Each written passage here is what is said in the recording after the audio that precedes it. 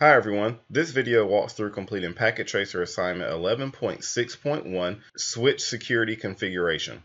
This Packet Tracer assignment is a part of the Switching, Routing, and Wireless Essentials version 7 Cisco Networking Academy curriculum.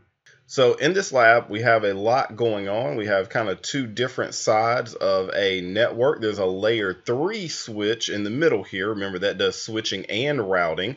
And we've got uh, these devices over here connected to our SW1 switch. And we've got these devices over here to the right connected to our SW2 switch. Now, the first thing they have us actually do as well is create some redundancy by connecting G02's port on on SW1 and SW2 together. You can use a copper straight through or crossover. Technically, in the older days, you're supposed to use a copper uh, crossover for like devices, so switch to switch, router to router. but you could also use a copper straight through. And today, because the devices are so smart, it'll actually um, change the signal transmission to match. So I'm going to use a copper crossover from G02 to G02. All right, now we're going to configure G01 and G02. So G01 from each switch is going to the layer 3 switch up there, and G02 is the one we just connected. So I'm going to use the range command here. So on SW1 and SW2, I'm going to configure G01 and G02 at the same time.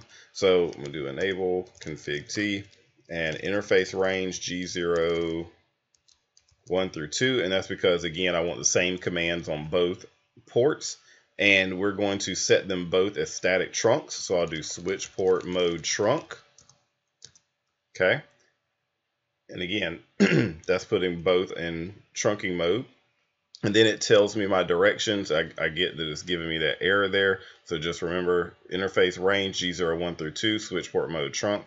And now I'm going to disable DTP. So that command is switch port. I'm still on both. Uh, switch port non-negotiate. All right. Then it says create VLAN 100 and give it the name native. So let me exit out here. I'm going to do VLAN 100 name native with a capital N. Going exit back out. And then it wants me to configure all trunk ports, which were again the ones I was just on, interface G01 through 2.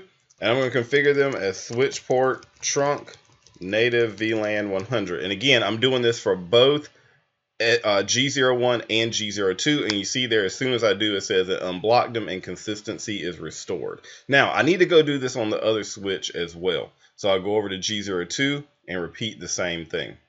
And you see we're getting mismatch errors and everything over here as well. So you see we're getting a lot of mismatch errors on SW2 here. So what I'm going to do first is actually create the VLAN 100 and then I'm going to name it native okay on SW2 and then I'm going to go into interface range G01 through 2 still working with both of those ports I'm going to do switch port mode trunk and then switch port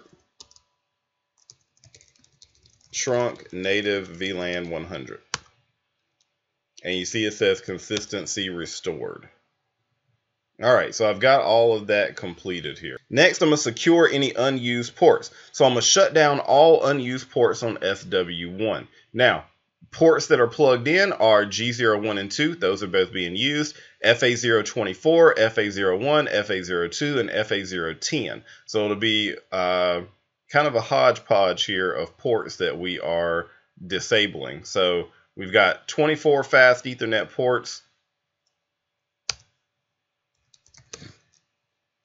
So we're going to do interface range, FA0, looks like 1 and 2 are being used, so we'll do 3 through 9. 10 is being used. All right, so then we'll do 10 through 23 because 24 is being used. Or sorry, not 10, 11 through 23. So then FA0, 11 through 23. Okay, that lets us do them all at one time, and then we're going to just do shutdown. So again, it was interface range FA03 through 9, comma FA011 through 23. And those are the ones not being used. If you hover your mouse over uh, SW1, or you could hover your mouse over each one of these individual ports, you can see which ones are connected.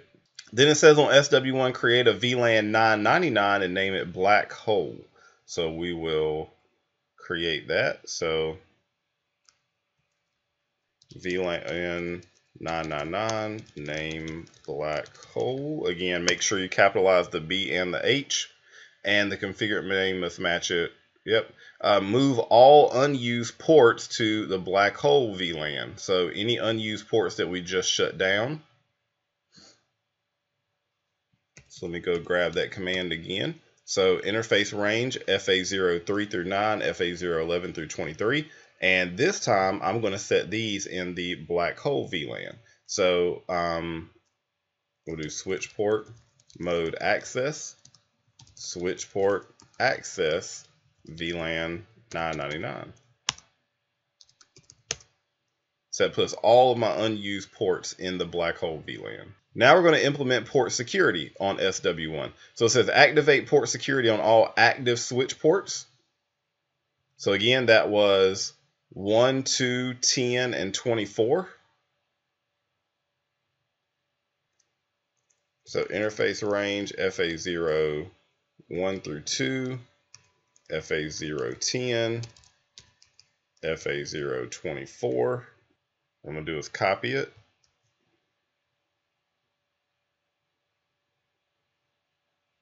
And then over here, I'm going to paste it. So this is for interface FA01 that the computer was plugged into PC1.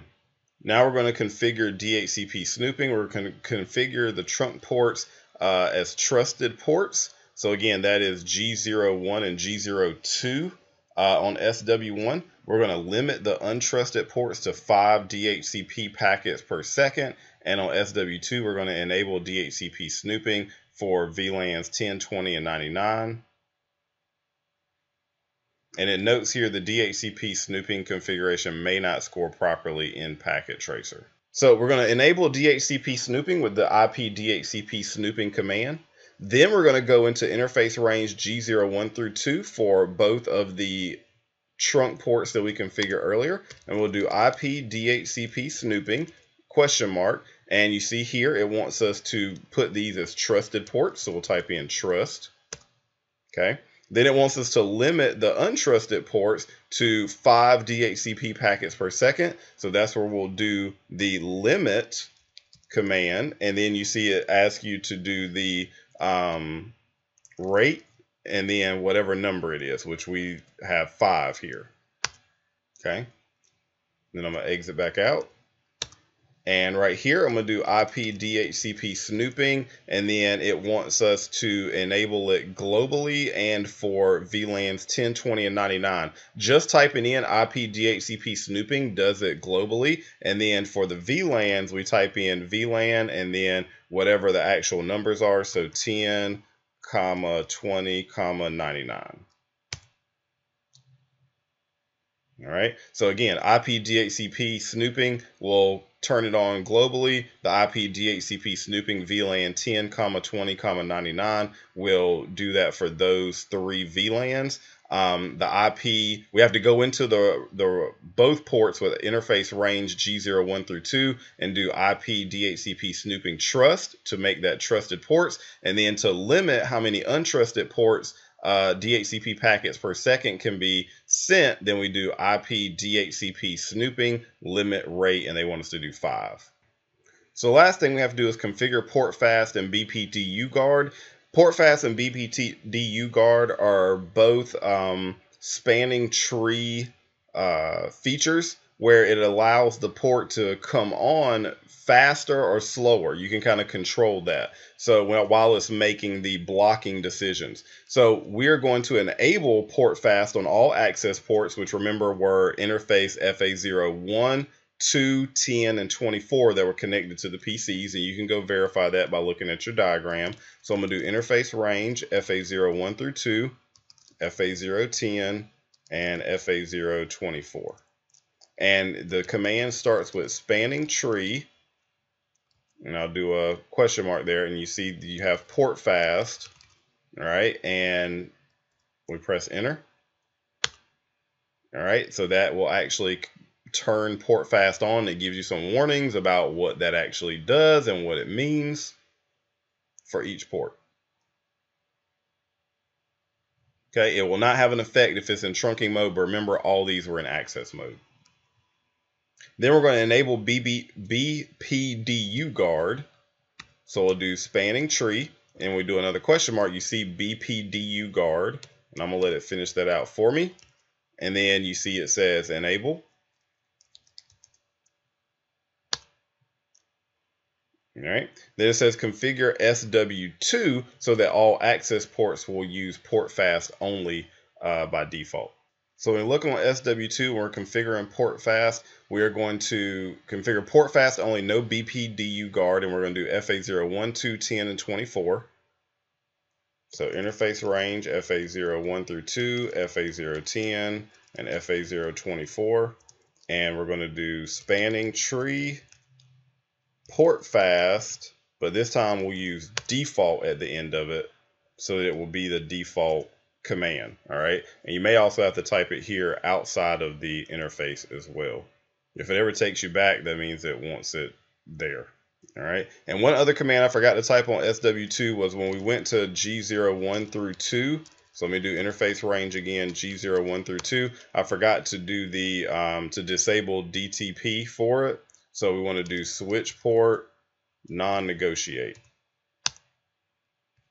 And that's on G01 through 2. We actually did that earlier on SW1, but I think I forgot it on SW2. And on SW1, they actually did want this to still be sticky for interface FA01. So switch port, so port security.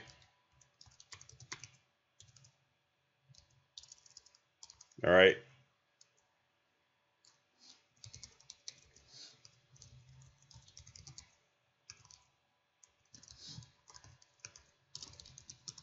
MAC address sticky. So even though it wanted us to configure it manually, it also wanted MAC address sticky to be enabled on that port as well, which usually you probably wouldn't do both, but they wanted it that way.